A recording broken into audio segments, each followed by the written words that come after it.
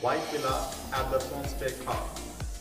And behind me, you can see an exhibition, which is actually meant to highlight the hidden histories of colonial slave labors and their resistance to archives.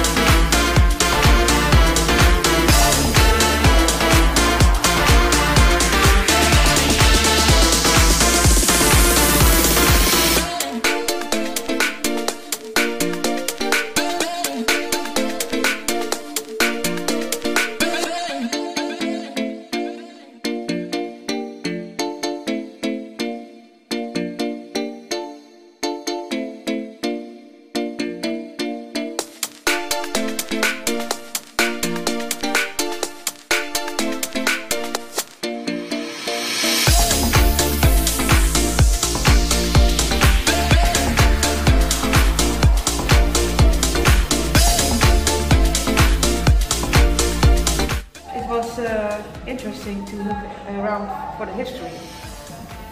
Uh, I think this is the second work we visit here.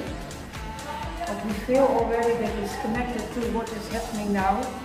And it's very interesting. So we're we're looking forward to see more. Okay, great. Well, it's interesting to see this and to you know, I think I know story, the story, but it's just confronting again. It's always confronting to see these pictures and hear these stories. Uh, yeah, I think it's good, and I hope that many people will, will join us and see this. Uh, Yeah, hopefully, hopefully. Yeah. Well, I think it was pretty confronting to see all these truths about our Dutch history and where it comes from, where all our econo- economic prosperity comes from.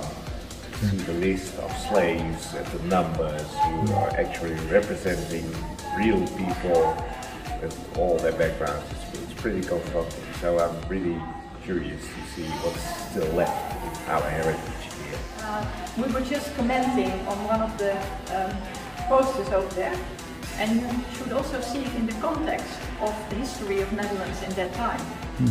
Uh, because it was told that one of the daughters was brought to an orphanage school, but my mother, uh, in, in the beginning of the 20th century, uh, was also brought to a, um, an orphanage school, Okay. and she was an ordinary Dutch woman.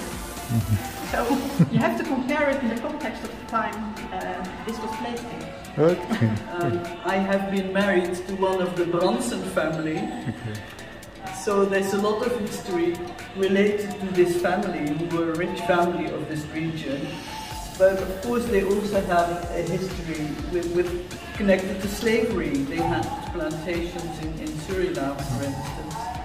So yeah, it's good that that's visible now here, because maybe in a lot of cities in, in the Netherlands, people do not realize that we are all have a connection with that past of which we're not so proud.